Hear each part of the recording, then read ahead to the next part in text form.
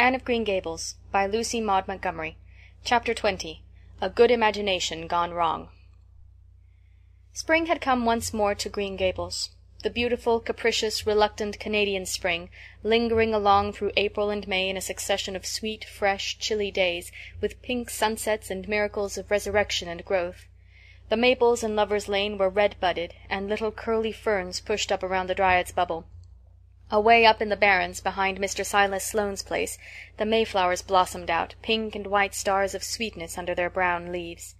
All the schoolgirls and boys had one golden afternoon gathering them, coming home in the clear, echoing twilight with arms and baskets full of flowery spoil. "I'm so sorry for people who live in lands where there are no mayflowers," said Anne. "Diana says perhaps they have something better, but there couldn't be anything better than mayflowers, could there, Marilla? And Diana says if they don't know what they are like they don't miss them. But I think that is the saddest thing of all. I think it would be tragic, Marilla, not to know what mayflowers are like and not to miss them. Do you know what I think mayflowers are, Marilla? I think they must be the souls of the flowers that died last summer, and this is their heaven. But we had a splendid time today, Marilla. We had our lunch down in a big mossy hollow by an old well. Such a romantic spot. Charlie Sloane dared Arty Gillis to jump over it, and Arty Gillis did because he wouldn't take a dare. Nobody would in school. It is very fashionable to dare. Mr. Phillips gave all the mayflowers he found to Prissy Andrews, and I heard him to say, 'Sweets to the sweet.' He got that out of a book, I know, but it shows he has some imagination. I was offered some mayflowers too, but I rejected them with scorn. I can't tell you the person's name because I have vowed never to let it cross my lips. We made wreaths of the mayflowers and put them on our hats, and when the time came to go home we marched in procession down the road, two by two, with our bouquets and wreaths, singing 'My Home on the Hill.' Oh, it was so thrilling, Marilla. All Mr. Silas Sloane's folks rushed out to see us, and everybody we met on the road stopped and stared at us. We made a real sensation." "Not much wonder. Such silly doings," was Marilla's response. After the mayflowers came the violets, and Violet Vale was empurpled with them. Anne walked through it on her way to school with reverent steps and worshipping eyes, as if she trod on holy ground. "Somehow," she told Diana, "when I'm going through here I don't really care whether Gil whether anybody gets ahead of me in class or not. But when I'm up in school it's all different, and I care as much as ever. There's such a lot of different Annes in me. I sometimes think that is why I'm such a troublesome person. If I was just the one Anne it would be ever so much more comfortable but then it wouldn't be half so interesting. One June evening, when the orchards were pink blossomed again, when the frogs were singing silverly sweet in the marshes about the head of the Lake of Shining Waters, and the air was full of the savor of clover fields and balsamic fir woods, Anne was sitting by her gable window. She had been studying her lessons, but it had grown too dark to see the book, so she had fallen into wide-eyed reverie, looking out past the boughs of the Snow Queen, once more bestarred with its tufts of blossom. In all essential respects the little gable chamber was unchanged. The walls were as white, the pincushion as hard, the chairs as stiffly and yellowly upright as ever, yet the whole character of the room was altered.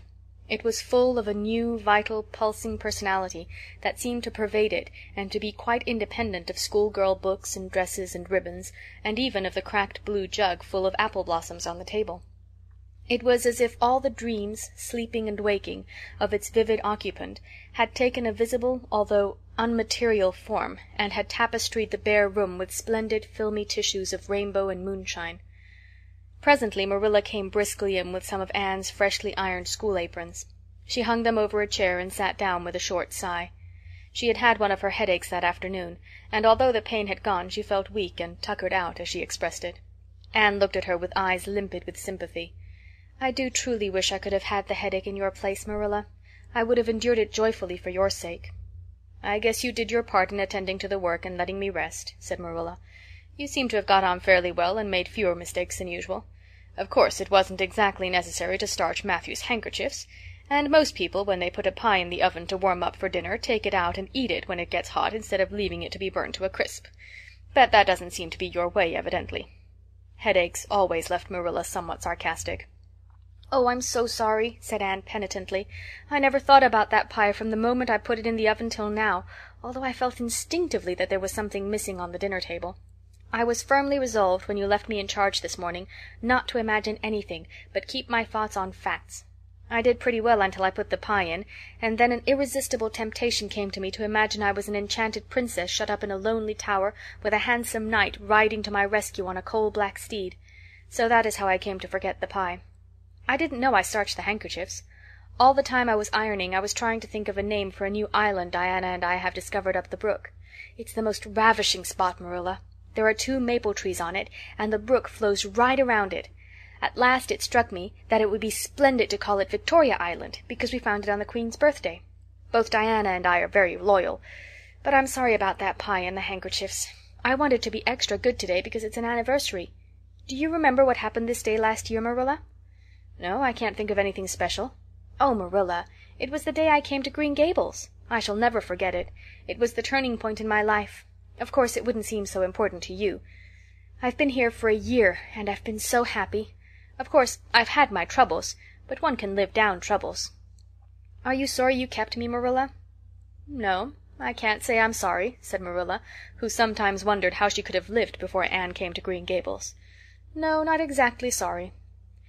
If you've finished your lessons, Anne, I want you to run over and ask Mrs. Barry if she'll lend me Diana's apron pattern." "Oh, it's it's too dark," cried Anne. "Too dark? Why, it's only twilight, and goodness knows you've gone over often enough after dark. "I'll go over early in the morning," said Anne eagerly. "I'll get up at sunrise and go over, Marilla." "What has got into your head now, Anne Shirley? I want that pattern to cut out your new apron this evening. Go at once, and be smart, too." "I'll have to go around by the road, then," said Anne, taking up her hat reluctantly. "Go by the road and waste half an hour? I'd like to catch you!" "I can't go through the Haunted Wood, Marilla," cried Anne desperately. Marilla stared. "The Haunted Wood! Are you crazy? What under the canopy is the Haunted Wood?" "The spruce wood over the brook," said Anne in a whisper. "Fiddlesticks! There is no such thing as a Haunted Wood anywhere. Who has been telling you such stuff?" "Nobody," confessed Anne. "Diana and I just imagined the wood was haunted. All the places around here are so so commonplace. We just got this up for our own amusement. We began it in April. A haunted wood is so very romantic, Marilla. We chose the spruce grove because it's so gloomy. Oh, we have imagined the most harrowing things. There's a white lady walks along the brook just about this time of the night and wrings her hands and utters wailing cries. She appears when there is to be a death in the family. And the ghost of a little murdered child haunts the corner up by Idlewild. It creeps up behind you and lays its cold fingers on your hand. So. Oh, Marilla, it gives me a shudder to think of it. And there's a headless man stalks up and down the path, and skeletons glower at you between the boughs. Oh, Marilla, I wouldn't go through the Haunted Wood after dark now for anything.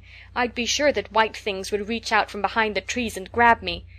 "Did ever anyone hear the like?" ejaculated Marilla, who had listened in dumb amazement. "Anne Shirley, do you mean to tell me you believe all that wicked nonsense of your own imagination?" "Not believe exactly," faltered Anne. "At least, I don't believe it in daylight. But after dark, Marilla, it's different. That is when ghosts walk. "There are no such things as ghosts, Anne." "Oh, but there are, Marilla," cried Anne eagerly. "I know people who have seen them. And they are respectable people. Charlie Sloane says that his grandmother saw his grandfather driving home the cows one night after he'd been buried for a year. You know Charlie Sloane's grandmother wouldn't tell a story for anything. She's a very religious woman. And Mrs. Thomas's father was pursued home one night by a lamb of fire with its head cut off, hanging by a strip of skin. He said he knew it was the spirit of his brother, and that it was a warning he would die within nine days. He didn't, but he died two years after, so you see it was really true. And Ruby Gillis says Anne Shirley, interrupted Marilla firmly, I never want to hear you talking in this fashion again. I've had my doubts about that imagination of yours right along, and if this is going to be the outcome of it I won't countenance any such doings. You'll go right over to Barry's, and you'll go through that spruce grove, just for a lesson and a warning to you, and never let me hear a word out of your head about haunted woods again." Anne might plead and cry as she liked, and did, for her terror was very real. Her imagination had run away with her, and she held the spruce grove in mortal dread after nightfall. But Marilla was inexorable. She marched the shrinking ghost seer down to the spring and ordered her to proceed straightway over the bridge and into the dusky retreats of wailing ladies and headless spectres beyond. "Oh, Marilla, how can you be so cruel?" sobbed Anne. "What would you feel like if a white thing did snatch me up and carry me off?" "I'll risk it," said Marilla unfeelingly. "You know I always mean what I say. I'll cure you of imagining ghosts into places. March! Now!" Anne marched. That is, she stumbled over the bridge and went shuddering up the horrible dim path beyond. Anne never forgot that walk. Bitterly did she repent the license she had given to her imagination.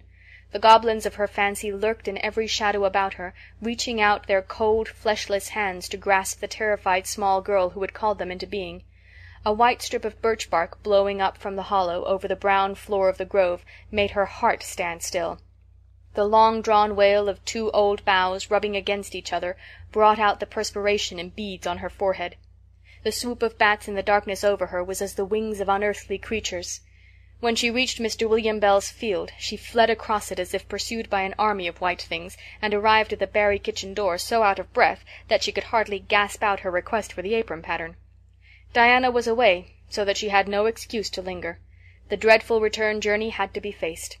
Anne went back over it with shut eyes, preferring to take the risk of dashing her brains out among the boughs to that of seeing a white thing. When she finally stumbled over the log bridge she drew one long, shivering breath of relief. "Well, so nothing caught you?" said Marilla unsympathetically. "Oh, M Marilla," chattered Anne, "I'll b be contented with commonplace places after this." End of chapter 20